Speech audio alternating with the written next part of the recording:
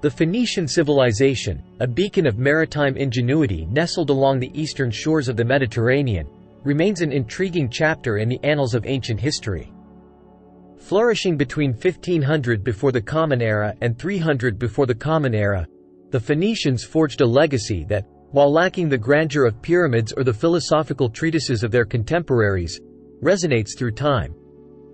Their city-states, such as Tyre, Sidon, and Byblos, carved an indomitable presence along the rugged Levantine coast, laying the foundations for maritime mastery, vibrant trade networks, and cultural contributions that echoed across the waves and sands of antiquity. In this exploration, we embark on a journey through the corridors of time to unveil the tales of the Purple people and the legacy they etched upon the shores of the ancient Mediterranean. From their humble beginnings to encounters with empires, we unravel the enigma of the Phoenician civilization, a civilization whose echoes continue to ripple through the currents of history. Nestled within the narrow strip of land known as the Levant, the Phoenician civilization emerged as a maritime marvel amid the rugged contours of the eastern Mediterranean. This region, encompassing parts of present-day Lebanon, Syria, and Israel, bore witness to the rise of city-states that would become synonymous with seafaring prowess and commercial acumen. The geography of the Levant, defined by mountainous terrain and limited arable land, compelled the Phoenicians to cast their gaze seaward, laying the foundations for a civilization intricately entwined with the ebb and flow of the Mediterranean tides. The earliest vestiges of Phoenician history trace back to around 1500 before the Common Era, when these enterprising people began to establish settlements along the coastal periphery. These nascent communities, including the notable cities of Tyre, Sidon, and Byblos, laid the groundwork for what would evolve into a maritime empire. Engaged in agriculture, fishing, and, eventually, trade, the Phoenicians found themselves inextricably linked to the sea, a relationship that would shape their destiny and contribute to their prominence on the ancient stage. As the Phoenicians sought sustenance from the bounty of the Mediterranean, they also found themselves at the crossroads of diverse cultures and civilizations. The strategic location of the Levant facilitated interactions with the Egyptians to the south, Mesopotamians to the east, and Anatolians to the north. These exchanges fostered a melting pot of influences that permeated the Phoenician way of life, setting the stage for the synthesis of cultural elements that would distinguish their civilization. The coastal geography, while limiting agricultural opportunities, offered a unique advantage to the Phoenicians, access to the abundant resources of the sea. From the azure waters, they extracted not only sustenance but also the raw materials that would catapult them to prominence on the world stage. It was against this backdrop that the Phoenicians honed their seafaring skills, transforming their modest settlements into bustling hubs of maritime trade and cultural exchange. The heartbeat of the Phoenician civilization resounded in the rhythmic cadence of waves against the hulls of their ships. Renowned as master shipbuilders and fearless sailors, the Phoenicians established themselves as unparalleled navigators of the ancient world.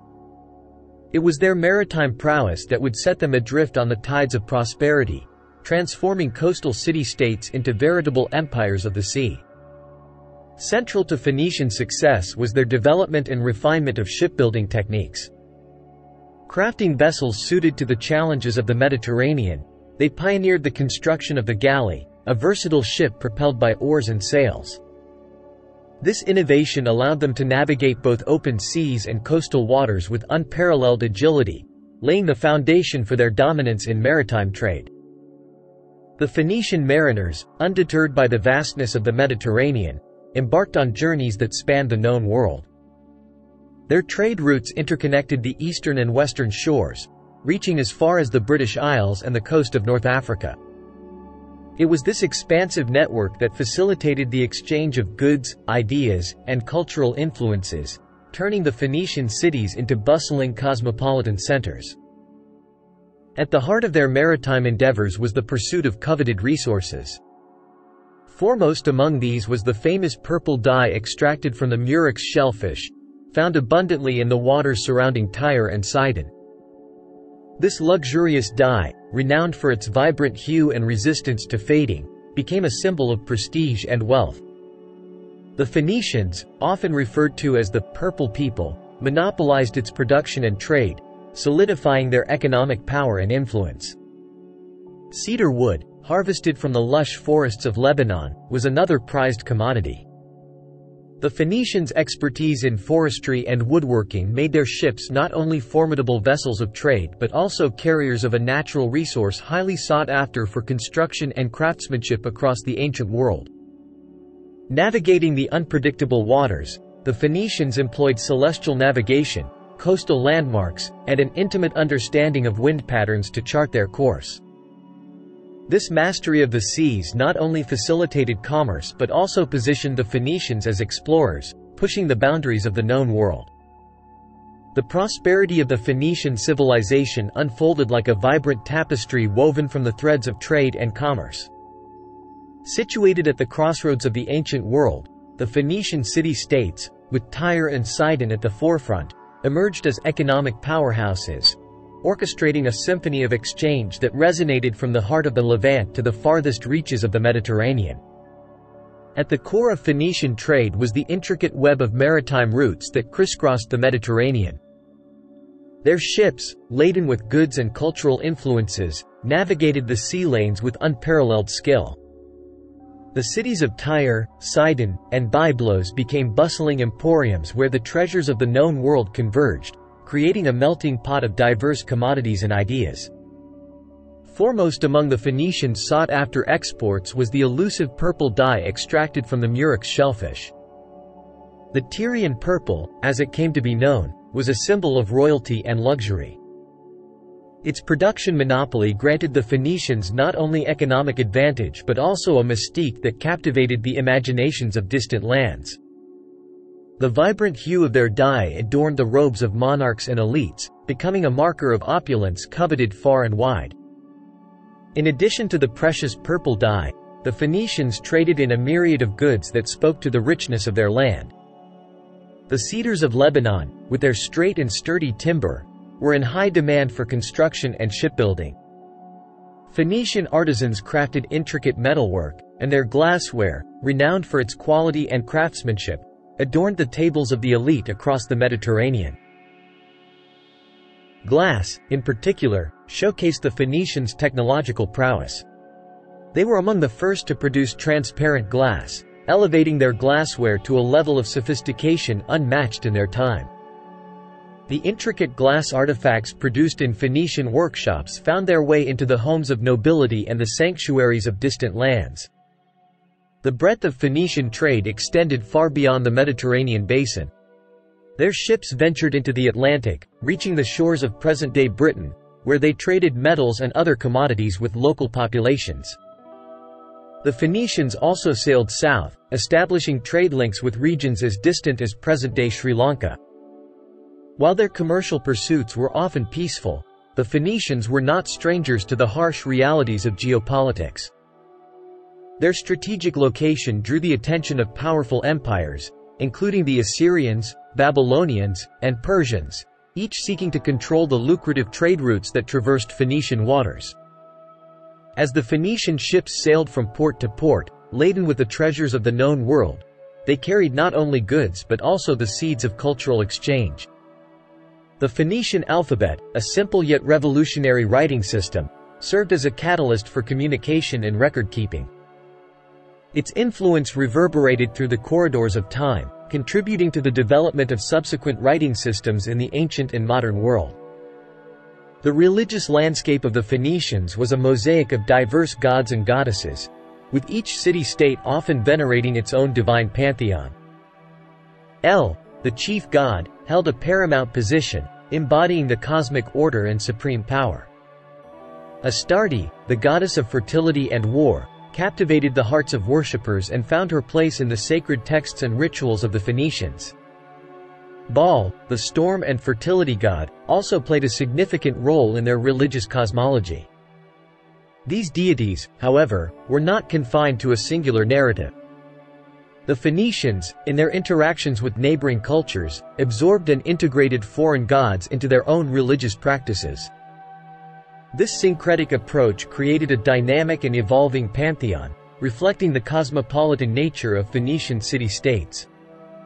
Central to Phoenician religious life were elaborate rituals and ceremonies conducted in honor of their deities.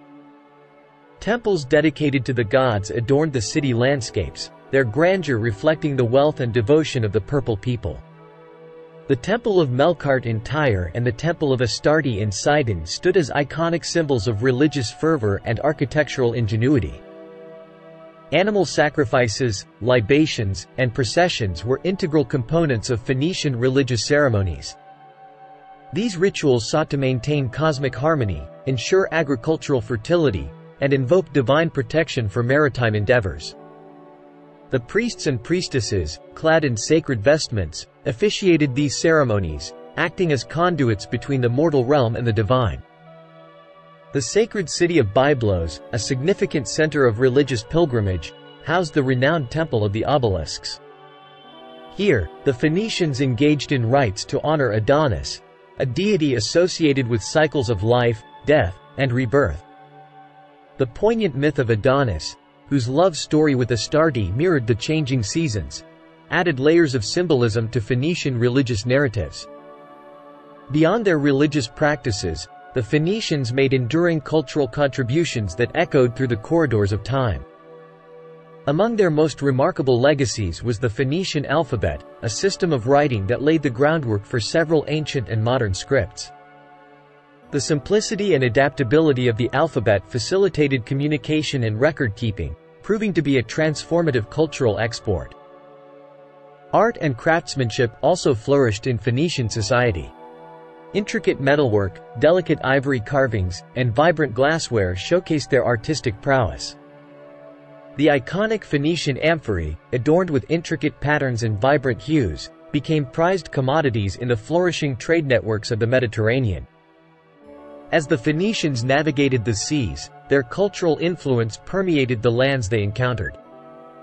The spread of their alphabet facilitated a written record of diverse languages, and Phoenician artistic motifs found resonance in the art of neighboring cultures. At the heart of Phoenician political organization were the city-states, fortified enclaves nestled along the narrow strip of the Levant.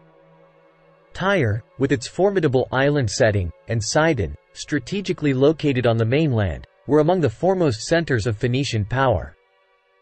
Byblos, with its renowned port and thriving trade, added its own distinctive flair to the Phoenician political tapestry. Each city-state operated as an autonomous entity, with its own governance structure and leadership. Monarchies and oligarchies were common forms of government. Monarchs, often referred to as kings, wielded authority over Tyre and Sidon, while oligarchies, where power was concentrated in the hands of a select few, governed Byblos and other city-states. This diversity in governance underscored the decentralized nature of Phoenician political life. While each city-state maintained a degree of autonomy, they were bound by a shared linguistic, cultural, and economic identity. The Phoenician cities engaged in alliances and treaties, recognizing the mutual benefits of cooperation, especially in matters of defense and trade. Despite occasional rivalries, the Phoenician city-states collectively navigated the challenges posed by external forces, including encroachments by powerful empires. The interconnected autonomy of the city-states was particularly evident in times of crisis or external threats. When faced with the expansionist ambitions of the Assyrians, Babylonians, and later the Persians, the Phoenician cities, recognizing the strength and unity, often banded together to withstand the pressures of imperial conquest.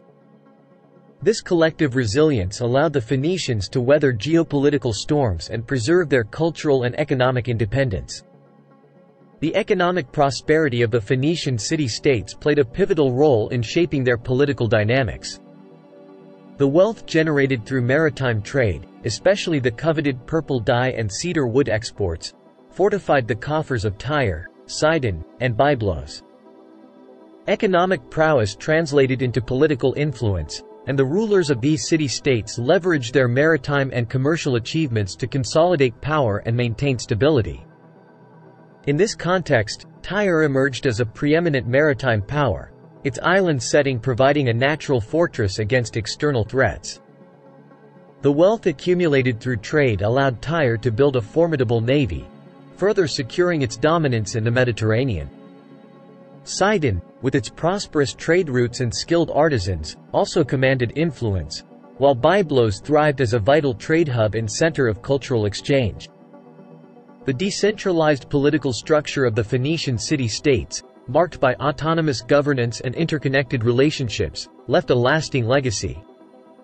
It foreshadowed the later development of Greek city-states and their federations, showcasing the enduring influence of Phoenician political innovation on the broader political landscape of the ancient Mediterranean. In the 9th century before the Common Era, the Assyrian Empire, a formidable force in the ancient Near East, set its sights on the prosperous Phoenician city-states. Initially, the Assyrians sought to control lucrative trade routes and extract tribute from the wealth accumulated by Tyre and Sidon. The city-states, recognizing the inevitability of Assyrian dominance, often acquiesced to the imperial demands to preserve their economic interests. However, the Assyrian penchant for expansion and control proved insatiable. Tyre and Sidon, along with other coastal regions, became part of the Assyrian Empire, subject to its rule and administrative structures. The Assyrians, with their military might and strategic acumen, left an indelible mark on the Phoenician city-states, shaping the dynamics of power and diplomacy in the region. As the Assyrian Empire waned, the Babylonians rose to prominence under the reign of Nebuchadnezzar II. In the 6th century before the Common Era, the Babylonians asserted their dominance over the Phoenician city-states, including Tyre and Sidon. The Babylonian conquest marked a shift in the geopolitical landscape, with the Purple people adapting to a new imperial order. Under Babylonian rule, the Phoenician cities continued to contribute to the empire's economic engine, participating in trade and cultural exchange. Despite the imperial yoke, the Phoenicians maintained elements of their autonomy, navigating the complexities of imperial governance with a keen eye on preserving their unique identity. The rise of the Persian Empire, led by Cyrus the Great, brought another chapter of imperial encounters for the Phoenician civilization. In the 6th century before the Common Era, Cyrus conquered Babylon, and the Phoenician city-states fell under Persian hegemony. Once again, the Purple people found themselves entangled in the machinations of imperial politics, contributing their maritime and economic expertise to the vast Persian network. Under Persian rule, the Phoenicians played a crucial role in the administration of the empire's maritime affairs. Their ships and sailors became integral components of the Persian navy, projecting imperial power across the seas. Despite the subjugation, the Phoenicians managed to navigate this imperial encounter with a degree of autonomy, preserving key aspects of their cultural and economic identity. The arrival of Alexander the Great in the 4th century before the Common Era marked a transformative moment for the Phoenician civilization. Alexander, driven by a vision of conquest and influenced by the cultural exchange fostered by the Phoenicians, sought to integrate these maritime hubs into his vast empire. Tyre, however, stood as a formidable obstacle to Alexander's ambitions. The island city resisted his advances, leading to the famous siege of Tyre in 332 before the Common Era. Alexander, displaying strategic ingenuity, constructed a causeway to breach the island fortress, subduing Tyre after a prolonged and arduous campaign. The conquest of Tyre marked the end of Phoenician autonomy, as Alexander's empire stretched across the known world. The encounters with empires left an indelible imprint on the Phoenician civilization. While the city-states witnessed shifts in political control and adaptations to imperial rule, their maritime expertise, cultural contributions, and economic prowess endured. The Phoenicians, through their encounters with empires, became conduits of knowledge, transmitting the legacy of their civilization to the wider reaches of the ancient world. The decline of the Phoenician civilization was a multifaceted process, influenced by internal and external factors. The encroachments of powerful empires, such as the Assyrians, Babylonians, and Persians, eroded the political autonomy of the city-states. While the Phoenicians adapted to imperial rule, the loss of self-governance diminished their once unrivaled influence in the Mediterranean, Internal strife and rivalries among the city-states also played a role in the decline. Competition for resources, disputes over trade routes, and occasional conflicts weakened the cohesiveness that had once defined the Phoenician identity. The rise of new regional powers further exacerbated these internal tensions, leading to a gradual fragmentation of the once unified maritime network. The conquest of Alexander the Great in 332 before the Common Era delivered a decisive blow to Phoenician autonomy. While Alexander admired the cultural contributions of the Phoenicians, the imposition of Hellenistic influence marked a significant shift. The decline of Tyre, the iconic island city that had withstood centuries of challenges, symbolized the waning of Phoenician political prominence. While the political independence of the Phoenician city-states waned, their cultural and economic legacy endured, weaving itself into the fabric of the ancient world. The Phoenicians, through their maritime endeavors, had already disseminated their influence far and wide.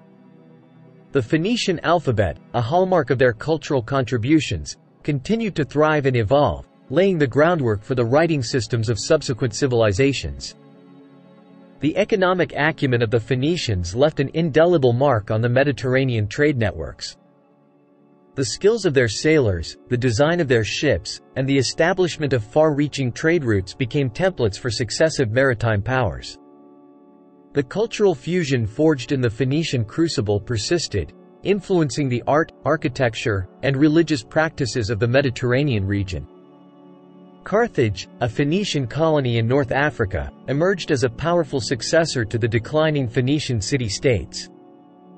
Carthage not only inherited the maritime traditions of its Phoenician forebears but also carved out its own formidable empire, becoming a dominant force in the western Mediterranean. The Punic Wars, fought between Rome and Carthage, reflected the enduring influence of Phoenician maritime strategies. The modern rediscovery of Phoenician sites, including the submerged ruins of ancient Tyre and the archaeological treasures of Byblos, has provided a deeper understanding of their civilization. These excavations have unearthed evidence of sophisticated urban planning, advanced metallurgy, and intricate craftsmanship, reaffirming the technological and cultural achievements of the Phoenicians. In conclusion, the Phoenician civilization, though confined to the pages of history, sails on as an immortal legacy. Their legacy is not just confined to the ruins of ancient cities or the artifacts unearthed by archaeologists. It lives on in the alphabets we use, the maritime routes we navigate, and the cultural exchange that defines our interconnected world. The Purple People, with their audacious voyages and cultural contributions, continue to inspire the dreamers and innovators who set sail beyond the horizons, chasing the winds that once filled the sails of the Phoenician ships. The tale of the Phoenicians is not just a chapter in history. It is an eternal voyage that sails beyond the horizon of time.